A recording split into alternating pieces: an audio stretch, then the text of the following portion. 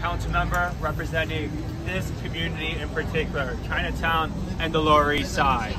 And what we've been advocating for decades is to build more affordable housing. The last affordable housing building that was built in this community was Confucius Plaza. Think about that.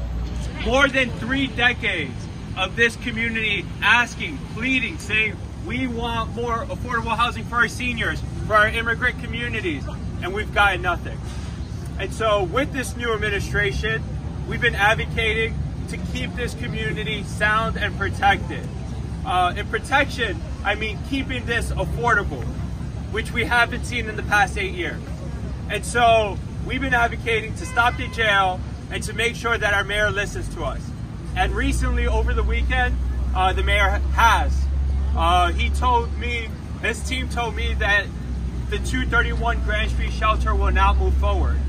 And as many of you,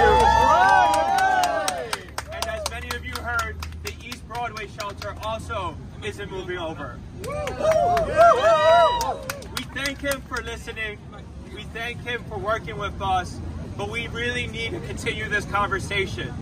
This is not a concession for the mega jail. This is not a concession for the lack of affordable housing.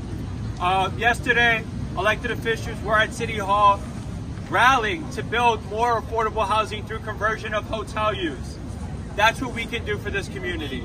And so I call on our elected officials on the state level to pass that legislation to make sure that we can build true affordable units for this community and for the whole city. Thank you.